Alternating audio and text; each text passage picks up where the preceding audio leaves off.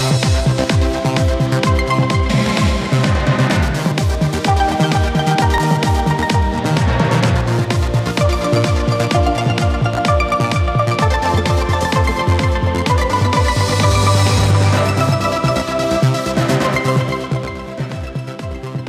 Доброе утро! Вы смотрите новости на телеканале Катунь-24. Коротко о главных событиях Алтайского края расскажу вам я, Кирилл Гусев.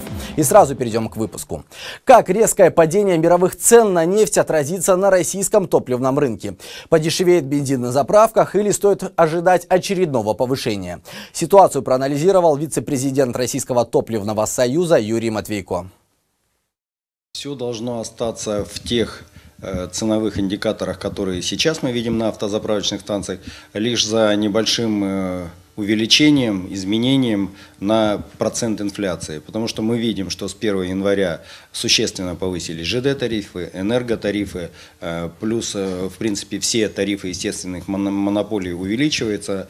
Это как раз процент инфляции. Я думаю, что на рынке нефтепродуктов будет нечто подобное. Также эксперт отметил, что владельцы автозаправок могут пойти на повышение розничных цен топлива, только если вырастут оптовые цены нефтяных компаний. Добавлю, что в сравнении с мартом прошлого года в нашем регионе увеличение цены на бензин составило менее 3%, что ниже уровня зарегистрированной инфляции. Больше двух лет не может получить квартиру выпускница детского дома в Барнауле. У, девуш... у девушки есть даже решение суда, но ситуация не меняется. О деталях этой истории расскажет мой коллега Иван Горбатов. В этой малосемейке площадью 13 квадратных метров живет Мария Григина. В детстве от нее и брата отказалась мама. Жили с бабушкой. Сначала в Барнауле, потом в Усть-Калманке. После смерти бабушки попали в детский дом. А когда выпустились, узнали, что с очереди на бесплатное жилье для сирот их сняли. Когда попали в Усть-Калманку, в Усть-Калманский район, нас каким-то образом сняли с этой очереди, что якобы жилье закреплено за бабушкой.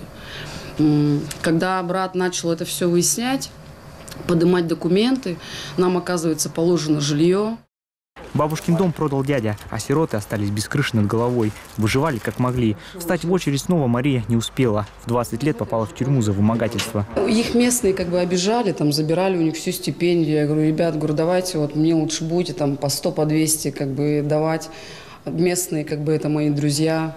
Я говорю, вас никто трогать не будет. Ну, как бы так оно и было.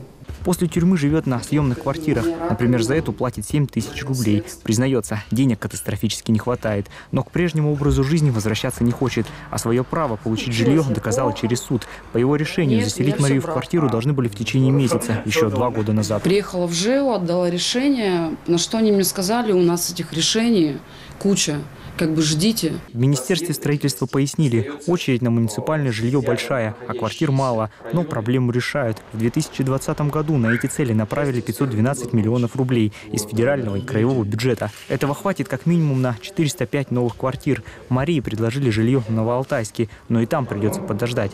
Однако, встань она в очередь вовремя, уже давно имела бы свою квартиру. В настоящее время управлением предоставляются жилые помещения очередникам а, с решением суда 16-18 годов. А Мария Петровна решение суда получила в конце 18 года. В связи с этим а, и затянулись сроки предоставления данного жилого помещения конкретно ей. Мария призналась нам, что ждет квартиру в первую очередь ради семьи. Девушка хочет завести детей и начать новую жизнь. Иван Горбатов, Анатолий Фукс. Новости. Онлайн-концерты ведущих российских коллективов классической музыки в формате 4К могут увидеть пользователи социальной сети «Одноклассники». Выступят камерный оркестр «Виртуозы Москвы», ансамбль «Солисты Москвы» под управлением Юрия Башмета, пианист Борис Березовский. Онлайн-трансляции концертов будут идти в соцсетях до 10 апреля. В программе «Чайковский. Времена года» и джазовые композиции. Ранее онлайн-концерт дал пианист-виртуоз Денис Мацуев. Добавлю, из-за распространения коронавирусной инфекции в стране отменили культурные мероприятия. Поэтому крупнейшие российские соцсети «Одноклассники» и ВКонтакте активно работают с музеями, театрами и музыкантами, чтобы обеспечить людям доступ к развлекательному контенту.